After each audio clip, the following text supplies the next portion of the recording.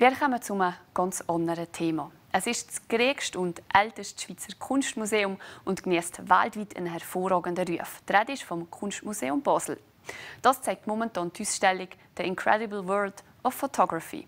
Und bei dieser mitgeholfen hat euer Walliser Student. Der Raphael Andres auf dem Weg ins Kunstmuseum Basel.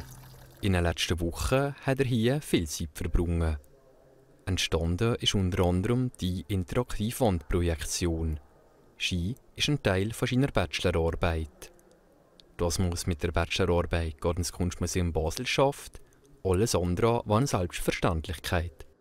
Das ist äh, ein grosser Ehre, der Einstadtsteil wurde ist und ähm, natürlich sehr spannend war, an diesem Projekt zu arbeiten mit all diesen Beteiligten. Und äh, das Zuckerli ist jetzt halt nur, dass das im Kunstmuseum ausgestellt wird über mehrere Monate.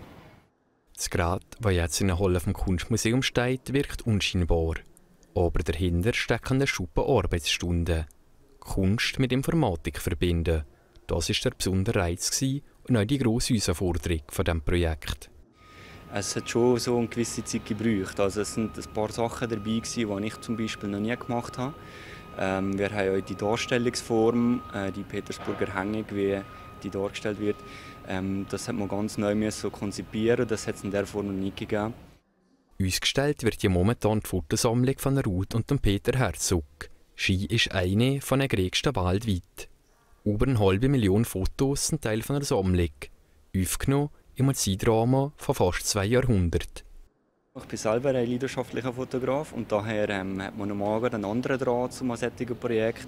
Also eine, eine Fotoausstellung kann anzuschauen und kann noch zu betreuen über die Zeit. Das war sehr spannend, die, die, die Vielfalt von diesen Werken zu sehen. Und dann hat man selber überlegt, wie ist das aufgenommen wurde und man ist äh, sehr fasziniert. Auch. The Incredible World of Photography, eine Fotoausstellung mit Walliser Beteiligung – wo man noch bis zum 4. Oktober im Kunstmuseum Basel anschauen kann.